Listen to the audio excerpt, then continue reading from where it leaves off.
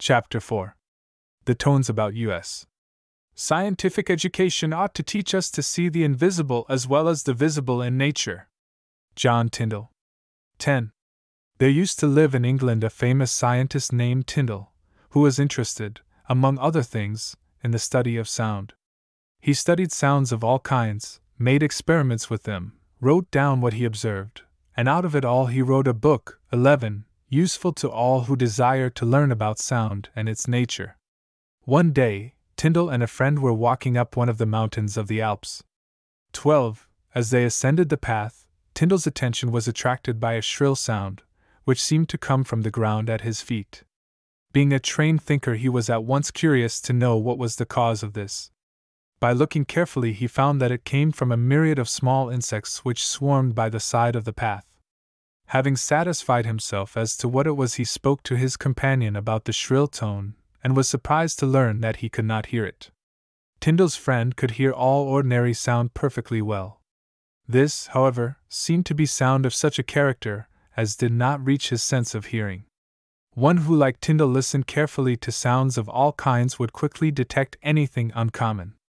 This little incident teaches us that sounds may go on about us, and yet we know nothing of them. Also, it teaches us to think about tones, seek them, and in the first days increase our acquaintance and familiarity with them. Men of science, who study the different ways in which the mind works, tell us that habit and also a busy mind frequently make us unconscious of many things about us. Sometimes we have not noticed the clock strike, although we have been in the room on the hour. Or someone speaks to us, and because we are thinking of something else, we fail to hear what is said to us. It certainly is true that very many people do not hear half of the sounds that go on about them, sounds which, if but heeded, would teach people a great deal. And of all people, those who study music should be particularly attentive to sounds of all kinds. Indeed, the only way to begin a music education is to begin by learning to listen. Robert Schumann, a German composer, once wrote a set of rules for young musicians. As it was Schumann's habit to write only what was absolutely needed, we may be sure he regarded his rules as very important. There are 68 of them, and the very first has reference to taking particular notice of the tones about us. If we learn it from memory, we shall understand it better and think of it oftener. Besides that, we shall have memorized the serious thought of a truly good and great man. This is what he says The cultivation of the ear is of the greatest importance. Endeavor early to distinguish each tone and key.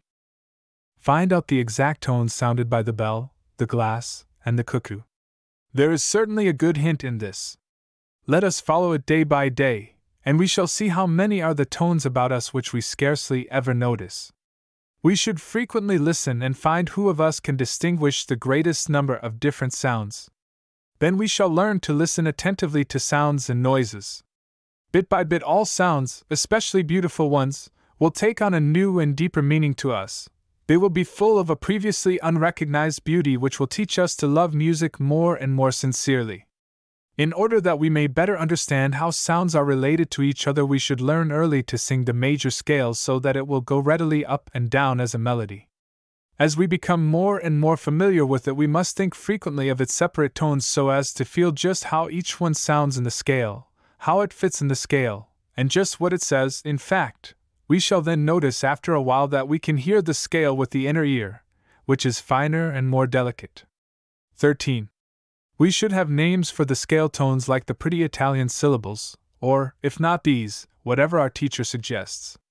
Then we should have a conception of the tones as they are related. We should learn that every tone of the scale is colored by the tonic. Everyone gets a character from the tonic which tells us all about it, because we learn to hear its relation to its principal tone.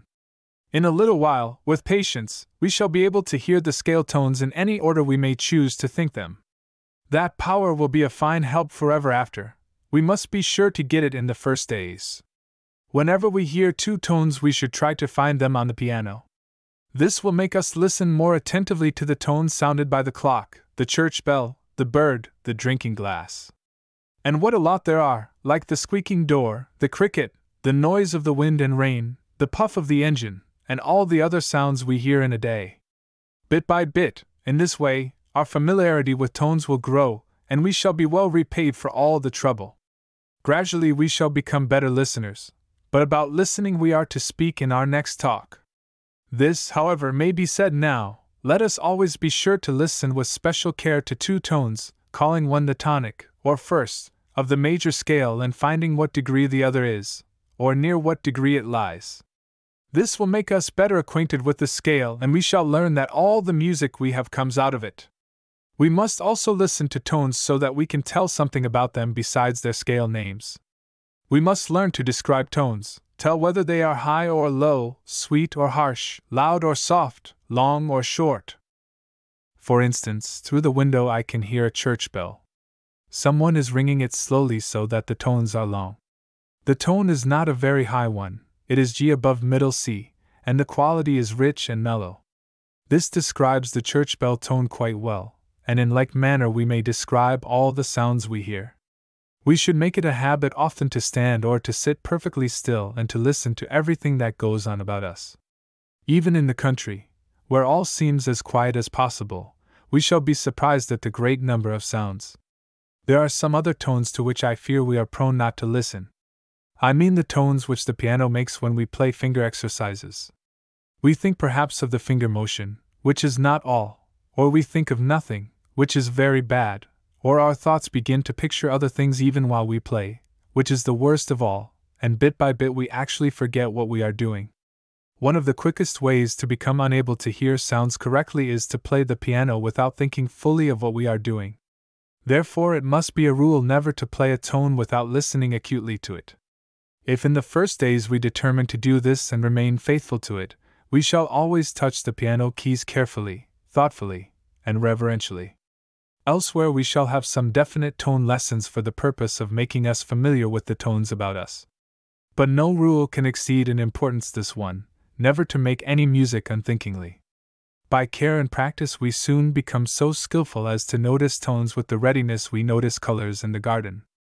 The sense of tone must be as strong in us as is the sense of color. Then we shall be able to tell differences of tones which are nearly the same, as readily as we can now tell two varieties of yellow, for instance. A bit of perseverance in this, and the beauties even of common sounds shall be revealed to us.